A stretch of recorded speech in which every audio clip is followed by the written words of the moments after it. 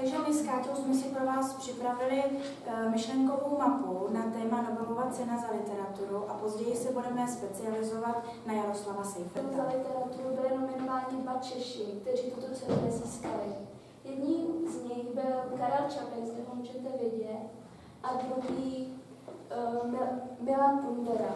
Takže, jak už jsem říkala, my se budeme specializovat na Jaroslava Seiferta, kde zde můžete vidět jeho portrét.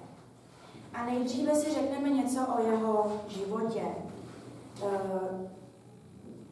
Jaroslav Seifert byl český lirický básník, prozaik a i publicista, který se narodil 23.9.1901 v Praze na Žižkově.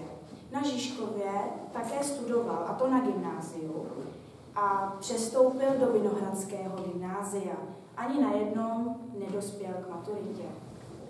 Byl spoluzakladatelem uměleckého hnutí Devět sil a roku 1921 se stal e, žurnalistou.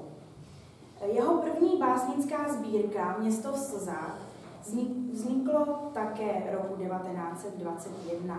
A téhož roku se stal 1976 se stal jedním ze signatářů Charty 77.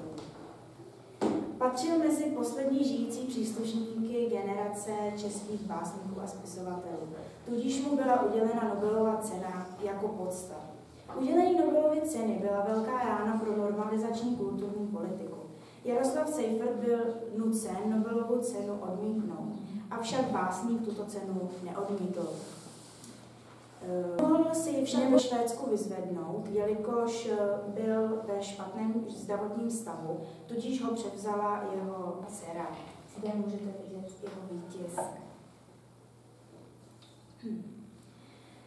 Dílo Všechny krásy světa bylo inspirováno aktivitami z období devět sil. Seifert vzpomíná na náhodné a ojedinělé setkání i na, určují, i na určující celoživotní. Poslední spočinutí Jaroslava Seiferta bylo v městě Kralupy nad Vltavou.